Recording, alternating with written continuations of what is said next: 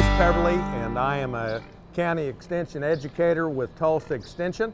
And uh, what we're talking about today is farm animals and how they provide us with uh, food and fiber to make our life better. One of the great things uh, about farm animals is they provide us with meat and milk, uh, supplying an excellent source of protein which need, we need in our growth and maintenance of our bodies. Uh, here with me I've got Macon Bacon. She's a Poland China gilt. Uh, swine uh, provide my favorite breakfast food, which is bacon.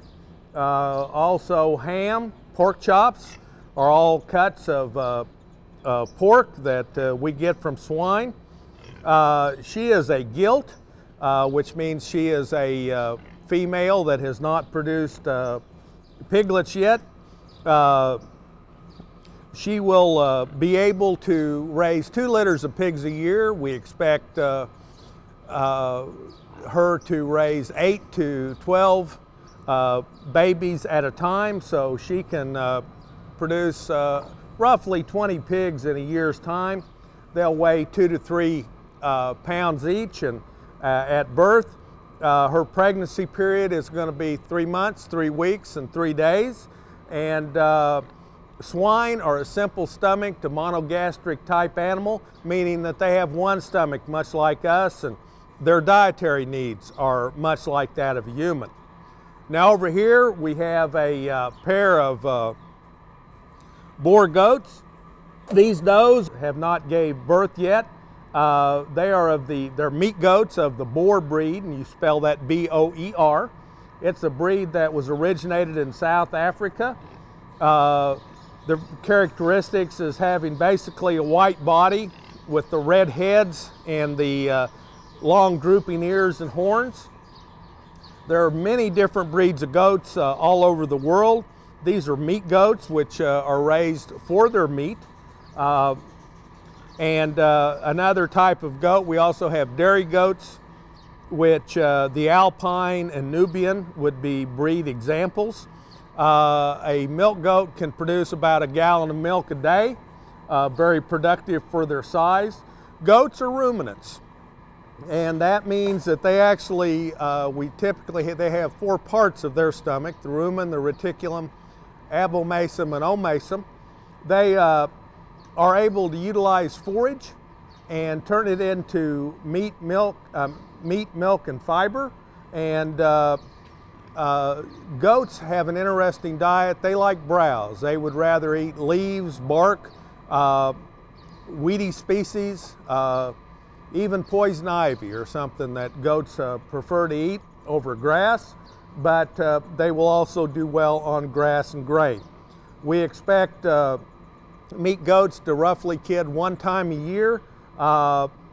When they have babies, we would prefer they have twins, uh, although occasionally you'll have singles and then quadruplets and triplets are also can be a possibility.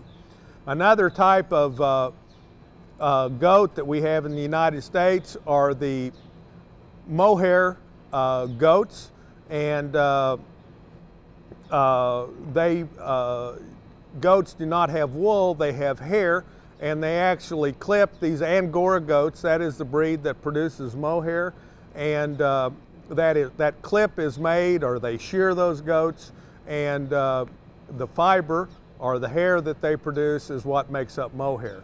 Over here, we have some Hampshire sheep. Sheep will have about a five month pregnancy period. Lamb is what we term the meat we get from sheep.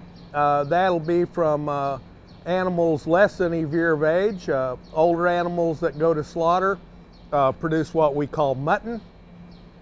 Lamb is very popular with uh, different ethnic groups in different regions of the country. Uh, sheep also produce wool.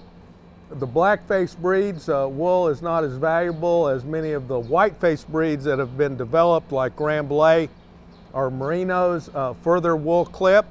Uh, black-faced breeds wool, actually most of it goes into the carpet industry. The white-faced breeds that will have a longer, uh, more luxurious fleece, uh, that those are breeds that the wool clothing comes from. Uh, that uh, has been popular uh, since uh, for years and years because of its ability to insulate and keep people warm even when wet. Uh, sheep uh, are also ruminants. They're forage grazers. Uh, they do like uh, a lot of broadleaf and weedy species, uh, more so than cattle, but will graze grass. And when these ewes give birth, again, we would prefer that they have twins. We will have a few singles, and they can get into the higher multiple births. But sheep uh, can meet a lot of needs and uh, are uh, a small ruminant that have been successful uh, in this country for uh, many, many years.